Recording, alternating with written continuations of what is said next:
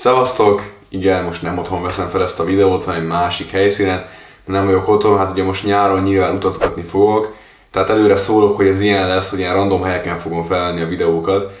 Viszont ezt a csatornát csak elhanyagolni, tehát biztos, hogy lesznek videók, de most nem is ez a lényeg. Tehát ez a videó, ez Ganáról szól, aki egyébként nekem az egyik kedvenc rapperem, és régóta akartam róla csinálni videót. Azért nem csináltam eddig, mert meg akartam várni, hogy kijön a legújabb albumja, a Vana, ami nemrég ki is jött, illetve láttam a kommentek között is, hogy ti is megemlítettétek, szívesen látnátok róla egy videót, úgyhogy úgy gondoltam, hogy jó, most már tényleg csinálok egyet. Tehát most elmondom röviden, hogy milyen Gana stílusa.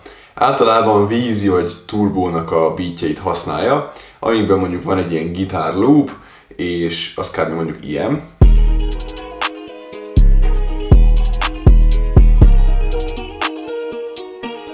Majd erre a bizonyos beatre ő így félig rá reppel, félig rá énekel. Ez eddig nem hangzik annyira extrán, ugye? Tehát, hogy a mai hip gyakorlatilag mindenki ezt csinálja. Viszont Gana, ő annyira egyedi, és tudom, hogy kb. minden zenészre ezt mondom, de ő így annyira jól használja a hangját, és annyira jól tudja kiénekelni a dallamokat, a hajlításokat, hogy tényleg nincs párja szerintem. Nagyon-nagyon tehetséges, nagyon szerencsés is, mert olyan hangja van, ami tényleg nagyon nem gyakori a, a rap világon belül sem. Egyszerre ilyen mély és öblös, viszont közben a magasabb dallamokat is simán kiénekeli, mint mondjuk Young Thug. Minden esetre Gunna az biztos, hogy egy egyedi jelenség. Sokáig gondolkoztam, amikor így átgondoltam, hogy mit mondjak el ebben a videóban, hogy igazából miért is szeretem ennyire Ganát, de nem nagyon tudom megfogalmazni, tehát egyszerűen annyira jó hallgatni így a szavakat, amiket mond, meg így a, a hangjának a rezgését, hogy hát tényleg elképesztő. Maga a személyisége pedig egyébként tényleg érdekes, tökre ellentmondásos az élete, mert alapvetően egy egészen jó környéken nőtt fel Atlantában. A gimiben tök jó tanuló volt, Viszont közben mellette azért az utcán is így jelen volt, és az utcai életben így eléggé benne volt. Aztán elvileg egyetemre fel is vették, de azt végül ott hagyta, mert nem érdekelte, és szakácsként dolgozott. Aztán a szakácskodás is ott hagyta, mert nem volt neki elég izgalmas, és utána úgy döntött, hogy akkor rapper lesz. Öten voltak testvérek, és abból az egyik bátyát lelőtték az utcán, és bele is halt szegény. Az egyik érdekes aspektusa szerintem Ganának az maga a drip kifejezés. Ezt, hogy drip, ezt a kifejezést a slangben Gunna, Lil Baby és talán Young kezdték el így használni, és ők hozták be, ma pedig már tényleg rengeteget használják akár az összes rapper. Ugye alapvetően maga a szó, a szó szerint cseppet jelent, vagy vízcseppet, a slangben viszont inkább ilyen stílus, valakinek a saját stílusát, drága ékszereket, luxusruhákat, stb.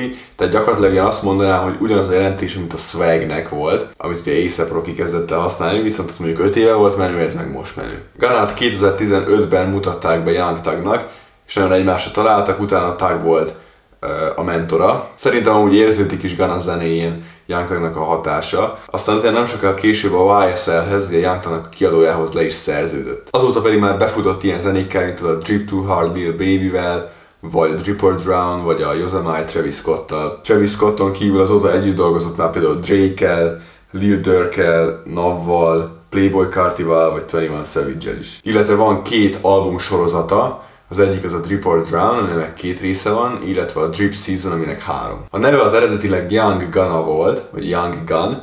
Ugye Young az azért, mert ő mindig ilyen idősebbek között lógott, és mindig ő volt a fiatal a társaságban. A Gunna pedig a Gunnerből jön, ugye ami hát ilyen fegyveres embert, fegyvert viselő embert jelent. És ez azért érdekes szerintem, mert amúgy alapvetően ugye a rapperek nagy része az az énekel fegyverekről, gyilkosságról, erőszakról, arról, hogy szétlőjük az ellenségeiket, stb. Viszont ez pont Ganára nem jellemző. Pont arra, akinek a neve is ezt sugalná, pont nem jellemző, mert ő mindig is inkább a, a drága ruhákról, ékszerekről, nőkről, gazdag életről, pénzről szokott meg már az elején is arról énekelt. Tehát, hogy ez is egy tök érdekes ellentmondás szerintem. Amúgy az eredeti neve az tökre megmaradt így a zenékben máig szerepel, tehát sok zene van, amiben így benyögi, hogy Young Gunna.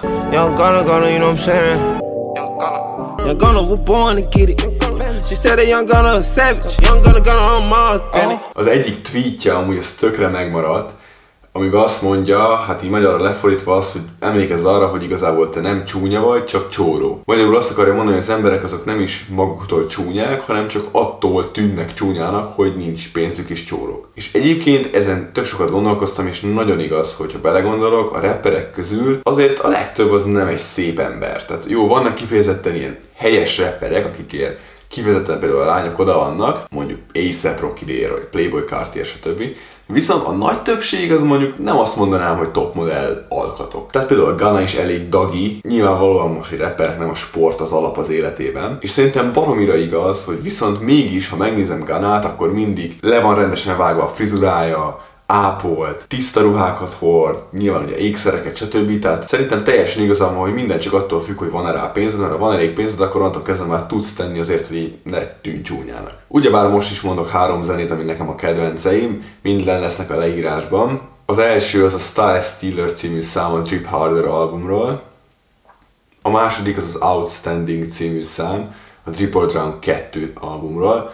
A harmadik az meg az Out the Hood szintén a Triple Run 2 albumról. És összességében azt mondanám, hogy Triple Run 2 a legjobb. Én imádom, hogy egy albumnak van tematikája, tehát hogyha van egy koncepció, és minden zene ahhoz akar illeszkedni. És ugye itt a Drip or Drunk 2-ben ugye a, ugye a víz volt a téma, és a, a, a drip meg a víz, és nagyon-nagyon jó, mert hallom minden zenében a, a vizet.